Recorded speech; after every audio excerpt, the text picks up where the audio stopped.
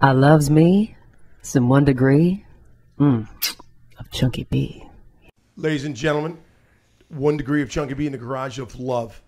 Um, whatever's happening, I dig. I'm picking up what you're putting down. I smell what you're cooking. Our numbers are going up, and for some reason, you guys are keep coming back to the garage of love.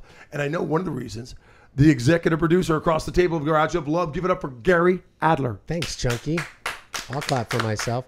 Yeah. Thanks for the warm introduction, and it's a pleasure to be here on a Sunday night, an emergency podcast. Very rare this Yeah. time of year. This is a rare emergency podcast. Uh, before we start talking about this awesome freaking guy that's going to be Yeah. coming up, let's talk about the website. Hang the on, let number- me just say hi. I didn't cut to myself.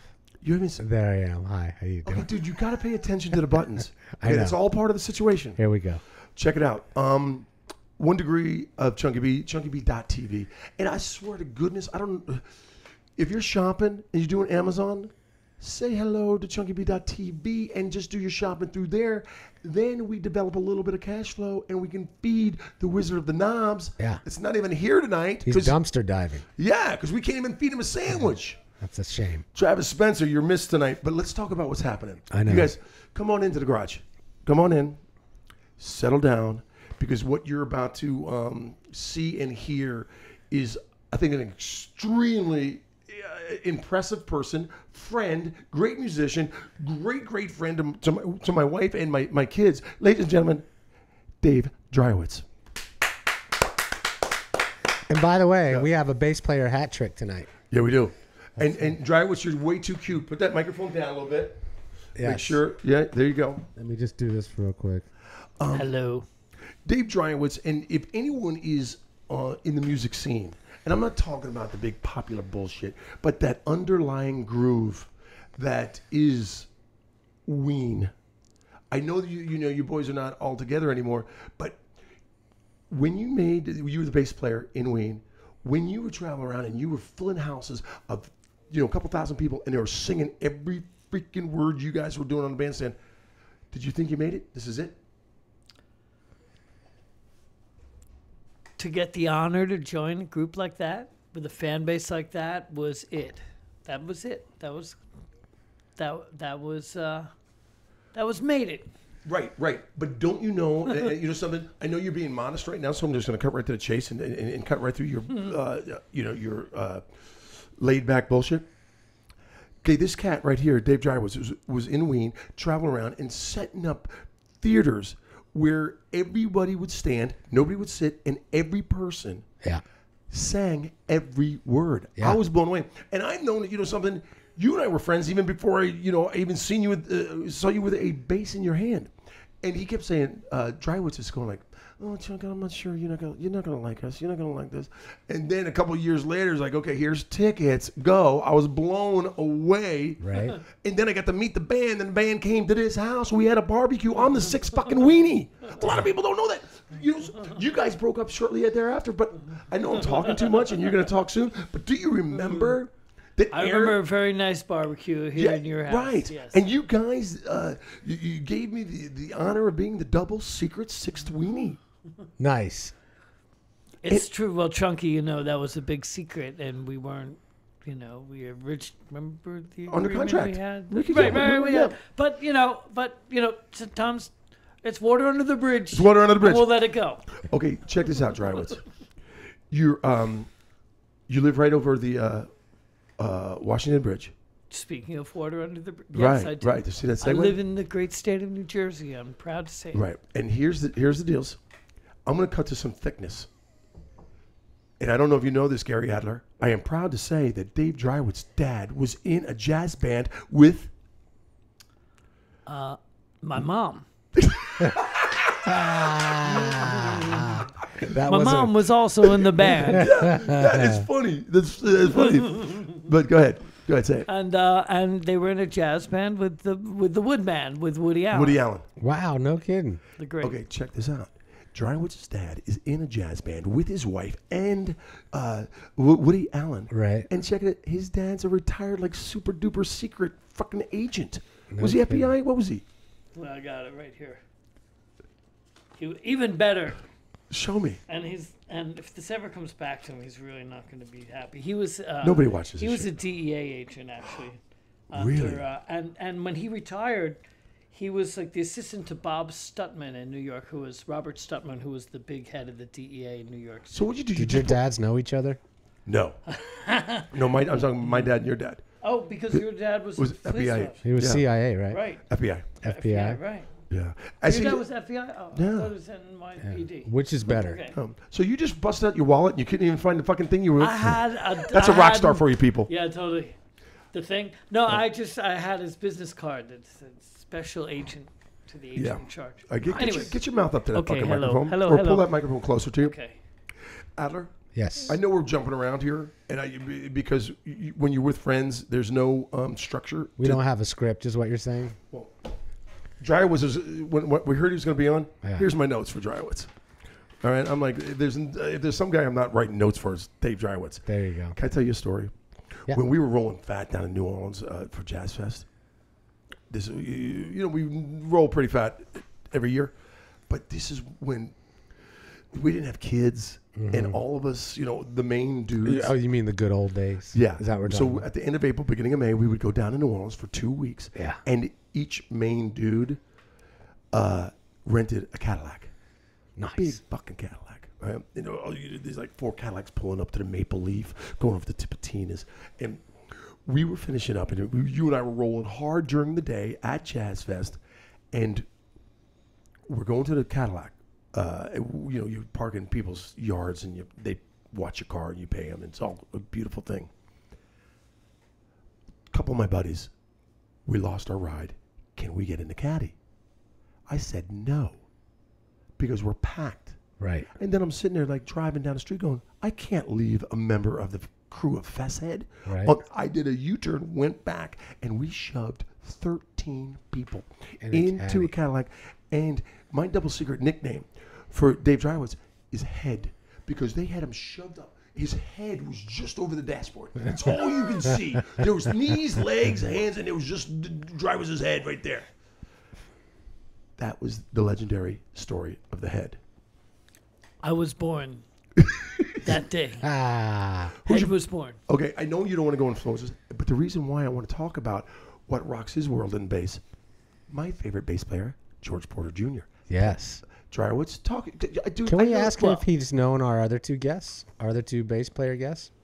One, Richard Cousins, I know uh, I'm from, very familiar with. and the other one, um, Paul Bushnell. You know Bushnell? He's played on don't every know. I don't know Bush. clean cut, well, Irish dude, Yeah. good guy. Played with the Commitments, and um, and then now he's playing with uh, Faith Hill and uh, what's his wife? What's his husband? Her husband's name? Yeah, that chick. Doesn't matter. Oh, that guy. Right. Okay. The guy who's married to Faith Hill. There you go. Okay, let's get Love let's her. get back on the let's get back on the, uh, the tracks here.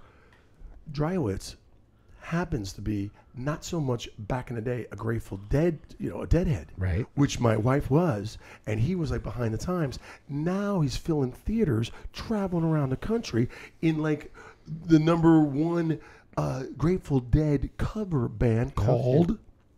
Uh, it's called Joe Russo's Almost Dead.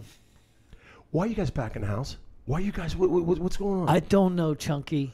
I have no idea, but other people do, and they, I, I, you know, to me, it's. Uh, I think we're a really good little band. We play, we like each other and play well together. Yeah. Um, but somebody else figured something else out. But we, okay, talk about Phil. Talk about Phil, the Grateful Dead bass player, kicks you off stage Well, for three days. no, well, well, well, well, no. The greatest thing that could happen with our band was to have Phil play in the band, What?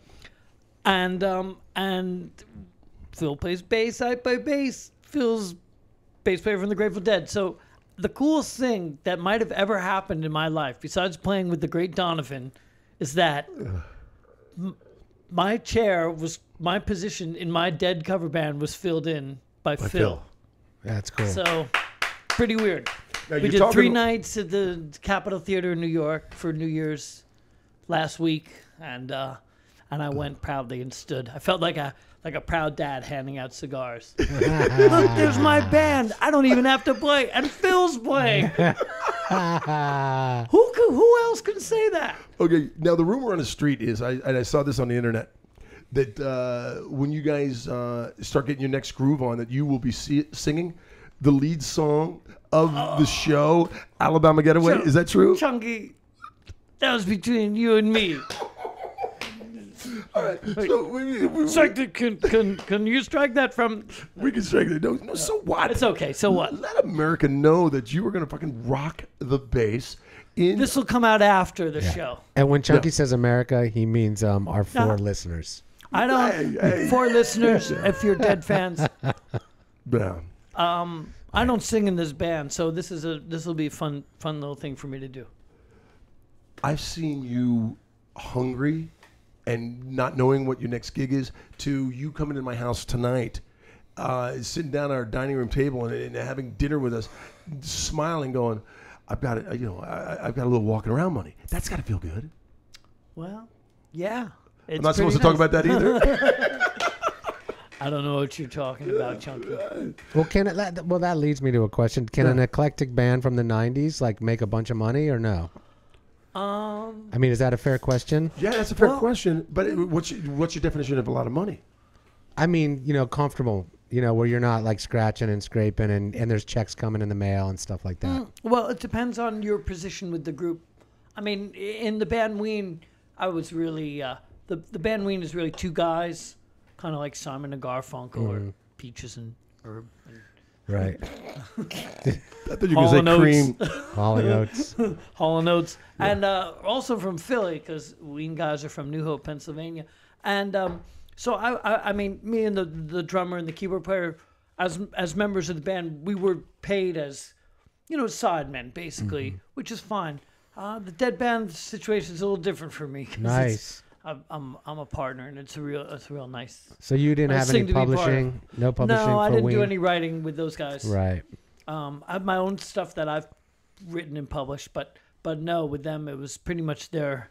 It was the, the two the two You were work for the hire. Hall and Oates as you as you would. Hey, how do you deal with the babes? I know Monica. I know you're in love with Monica, and you, everything's everything's great, and you, you're traveling around. The, um, dude, how do you how do you deal with that? Uh, well, Next question. Well, next you. I just made you so. Look at him, Adler. Look at him. the ladies are wonderful, you know. And uh, the great the great Lemmy of Motorhead, to to, to quote him, you know, in uh, in um, what was it the uh, that that rock documentary he was in the Metal Years. Right. He right. says, uh, he said, anybody who says they don't do it for the ladies, they do rock and roll, they don't do it for the ladies is lying. "Damn straight, damn straight." That's why I'm a rock Hell star. yeah. Um, what's that? That's why Chunky learned how to play harmonica. Where's my harmonica? okay, what's How's the, it going? what's that docu? Not the documentary. That How's TV that show. going? what's that TV show about the the? Oh my god, I can't believe I'm vapor locking. Um, the band that goes into a town and learns the the, the, the roots of the town. Brig- Rock Swap. Brigadoon? No, no, no. It's is it Foo Fighters? Oh, yeah, yeah, Oh, yeah, yeah, yeah, yeah. yeah, yeah, yeah. Sonic Highway. Sonic High. Yeah. Have you dialed into that?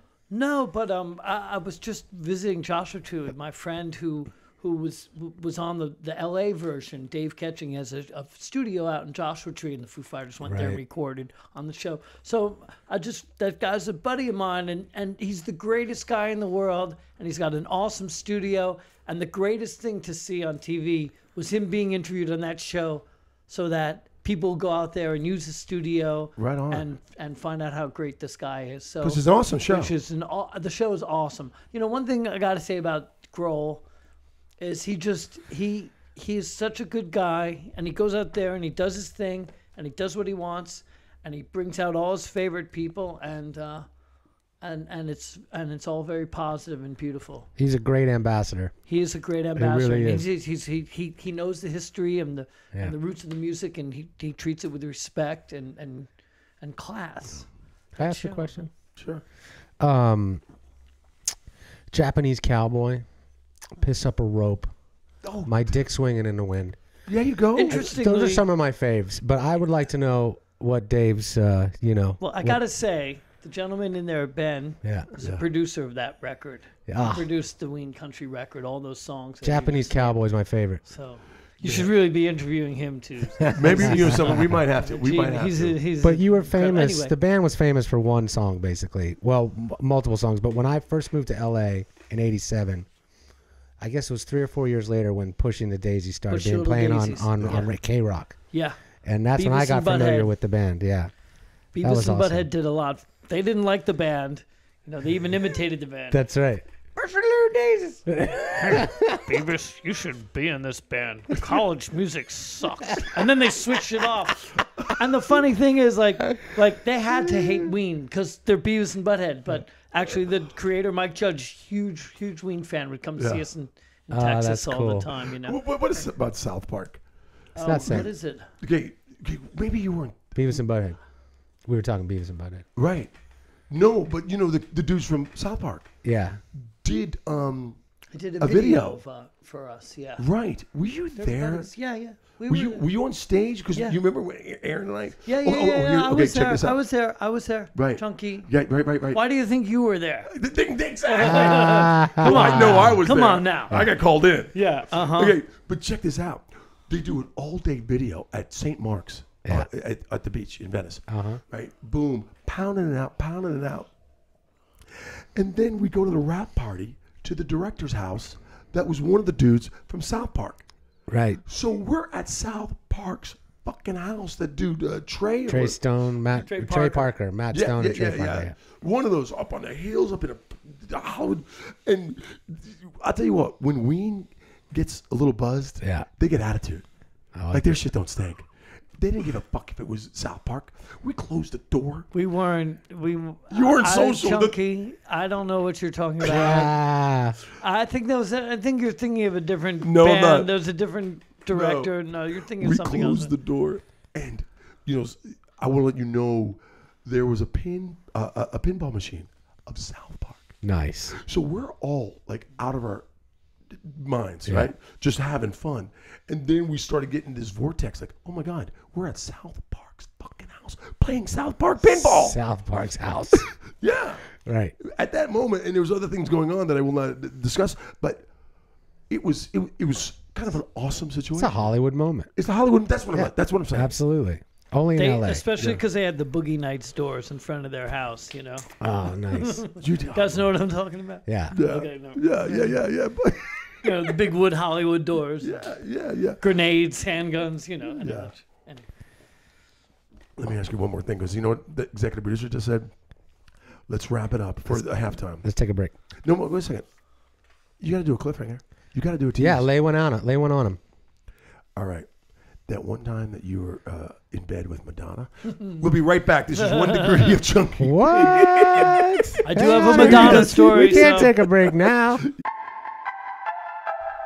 Hello, it's Dave Dreiwitz, and you're watching One Degree of Chunky B. I know what you were thinking, people. Madonna. We're going to talk about the story with Dave Dreiwitz and Ween and Madonna. But before we go any further, once again, one degree of Chunky B. It's uh, the Garage of Love and uh, ChunkyB.tv. Keep sharing because whoever is spreading the word, I promise you, you're gonna. I'll buy you a sandwich. Um, say hello to the guy across the table. He goes by the name of Gary Adler, executive producer. Hi, Chunk. Yeah, listen, folks, at home, hit the donate button. Uh, hit us up on Amazon if you're going to shop or return those Christmas gifts that nobody wants. Yeah. Just go through our site. It doesn't cost you a dime, and that helps out the show. And now let's talk about our guest to see if uh, if anyone at- home wants to get in touch with him or see what he's up to. Dave Dreiwitz. Yeah, from. Ween. Now he's just slowly taking over that um, jam band, young hot chicks that doing ecstasy, sweating and Are there standing people and still saying, spinning around? "Fuck, at what are you these getting things? at every show it is." I think they are. Really? They're doing hula hoops. Hula hoops. Spinning. Yeah, They're, raging. They're rolling. Yeah. They're rocking. People still do the sticks and all that business. That I don't know. The, the the devil toy police have been out in a strong way. Devil sticks, hacky sacks, they're disappearing faster than you can say. oh man, But the hipsters are in. Now they have a devil sticks app on their uh, iPhone. no way. Oh yeah, you don't I'm actually need. You're, the no, you're fucking with us now. You don't need. it. You get two iPhones. right, right, right. on. Digital devil sticks. That's my going to be my new band. I love it. Can I be the roadie? DDD. You're in. Yeah. One degree of chunky. Well, you can be the sixth man. Digital devil sticks. Anyway, Listen to getting me. good. Uh, where, uh, if anybody wants to find you, do you want to be found, or just say Well, fucking find me on um, the road? I Twitter about once um, uh, every three months, and I'm Instant Dave, and um, Yeah. and I'm Dave Dreiwitz on Facebook. Yeah. Do you uh, um? Do you have any followers on the? I have a few, Yeah. I bet you got more than me. maybe. I can't get over 200 don't- people. I I don't know. don't. I I don't do anything, and you know, I do one. I do one tweet, and then I get another hundred requests that I ignore. I'm the worst too. If you want to friend Facebook me, you'll you'll have to wait another year because I have like 800 pending. People that you're ignoring. pending. They're, well, yeah. you know, I go through and uh, Hey, who's the coolest person you ever played with? uh, Donovan Serious? Why do you love Donovan so much? because he wrote all those great songs. He did. It's, he was like Donovan was like the connection between the Beatles and Led Zeppelin, which are my two favorite bands. Yeah, yeah, yeah, yeah. Um, Madonna. Madonna. Well, I have a Madonna story for you, John. Are you It's just funny fucking you with should it? say that. Are you no, fucking I, with this is a real story.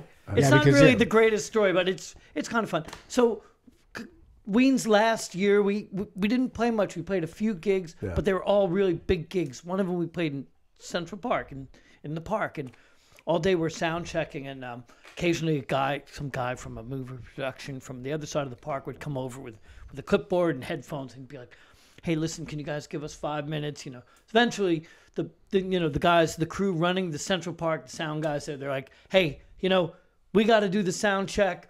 We've had the show booked for whatever, and you know, and and and they were like, okay. So um, we start sound checking, and we're sound checking away, and all of a sudden, this entourage comes r- marching across the field, led by none other than Madonna, Oh shit. with like 15 people around her, all with clipboards and headsets, and she comes marching in, and I tap Dean Ween, Mickey Melchiondo on the shoulder. I said, hey, uh, here comes Madonna.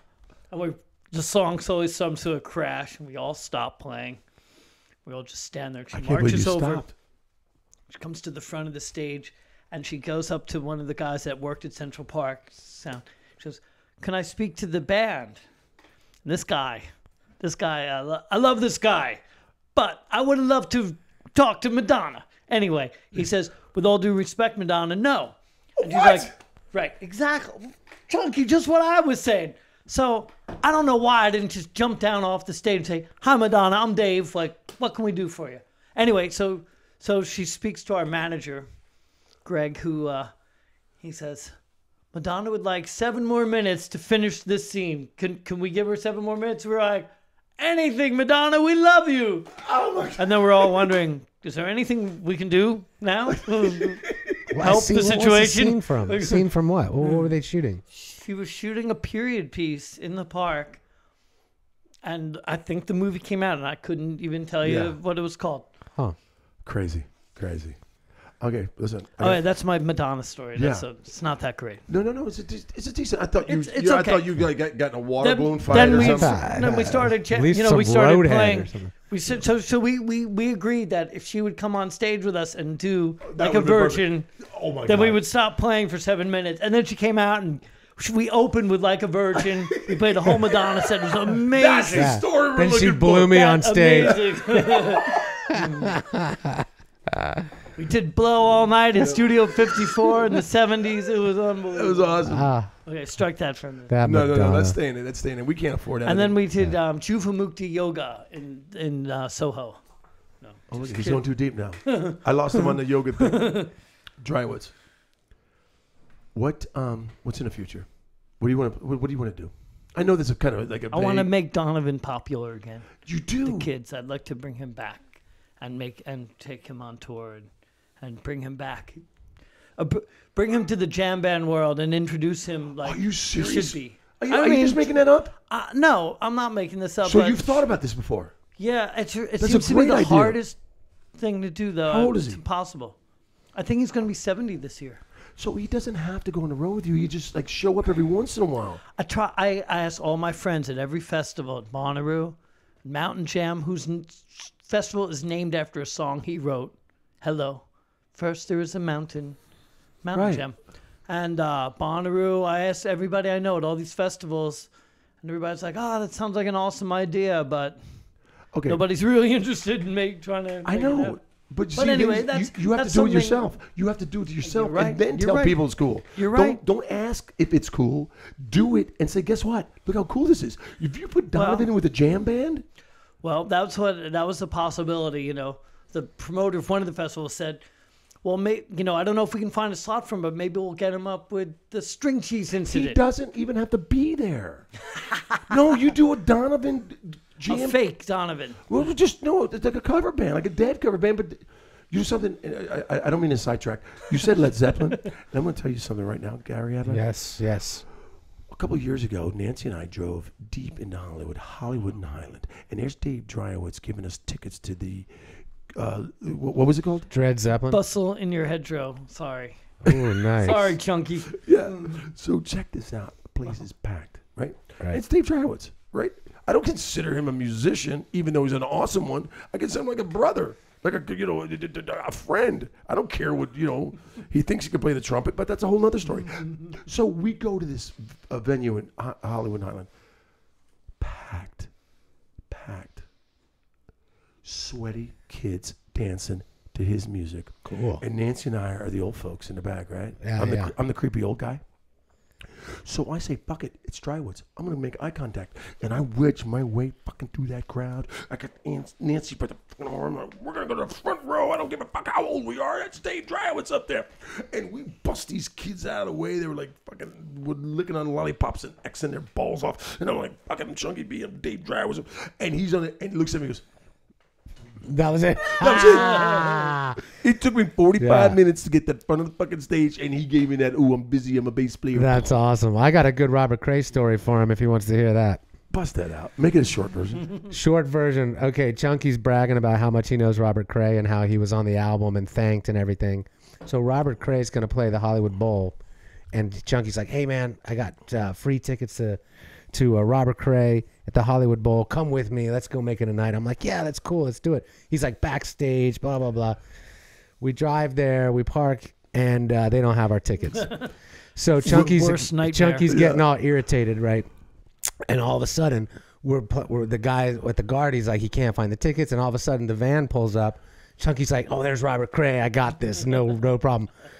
Robert Cray gets out. He gave him the one arm, sort of like Look look, away. look away hug, right? I haven't seen the guy in five years. I used to live with him. I, I know more secrets about Robert Cray than he can remember. Right. So cut to we finally get our tickets. We're in the nosebleeds, and Chunky's like, This is it. This is my relationship with the band now. This is where this is fuck it. Adler, let's go get some beer. So we went we went down and got some beer. And while we're in line getting beer from about 20 yards away, Chunky B, is that you? Chunky B, is that Chunky B? And Chunky B turns around. The guy's like, "Oh, I love you. I'm Craig Ferguson. I'm a big fan." And Chunky looks at me and goes, You see, Adler? That's what I'm talking about. I don't care where I sit. I just want to be noticed. "That was I great, want some man." attention. It was a great concert though, and we did go It was- backstage. it was. Was it that it the ended real up being Craig a lot Ferguson? The, the real. of fun. you writing songs? No, I don't really write songs much, but used to. I, I, I- yeah, a little bit. Yeah. I I do a little something here and there. I wrote a song for fracking against fracking. Do you know what fracking is?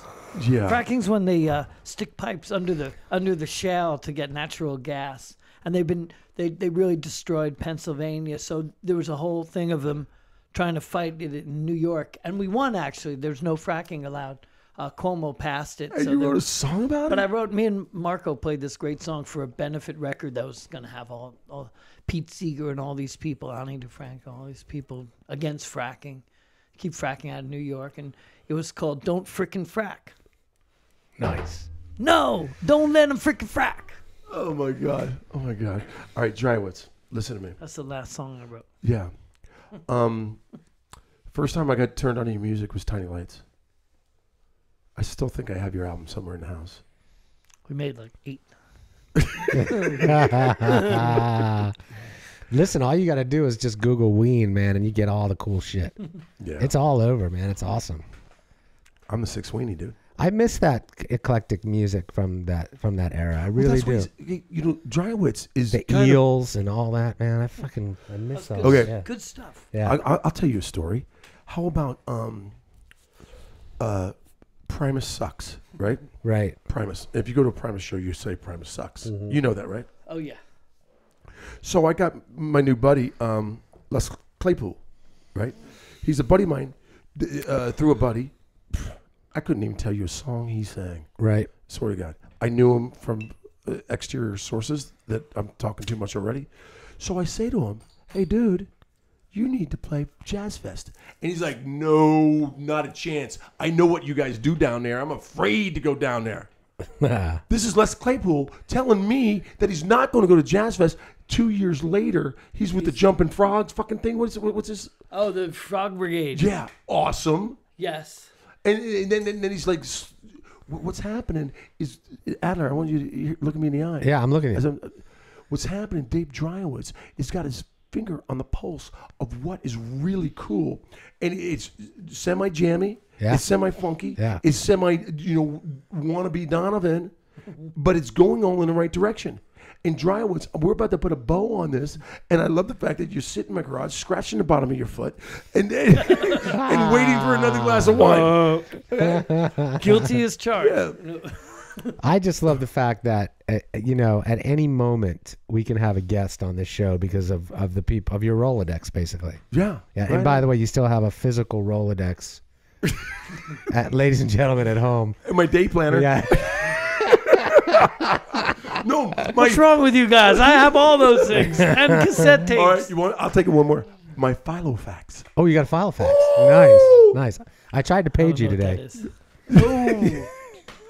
No, you didn't. Hey, wait, wait, hold on. Hold Nobody on. can see this, but this is my phone. Yeah, we can see Oh, it. look at you. You are old school. Oh man, Look that's at Dreiwitz. Look at that. it's like a tricorder on Star Trek. Totally. Check this out. Beat me up, Scotty. I'm giving her all Oh, she's told got. you life here. No. Stun guns on, whatever. yeah, set to phase. Okay, listen. We gave it a go. We had Dreiwitz. Um, you can see that uh, we had a couple safety meetings. Uh, and the uh, white wine was flowing. But Dave Dreiwitz do not hesitate to dial into his world. Sure, the springboard is Ween, but the, the the pool of music that he swims in is is delightful and it's welcoming all year round. Dave Dreiwitz, thank you for being in the garage of love. Gary Adler, thank you for being the executive producer of One Degree of Chunky B. Thanks, Chunky. And I want to let you know, do yourself a favor. Hashtag. Chunky Love. B. dot TV. I was just, I was just gonna get emotional. You know for a fact we are D O N E. Thank you, Dreiwitz. Bam.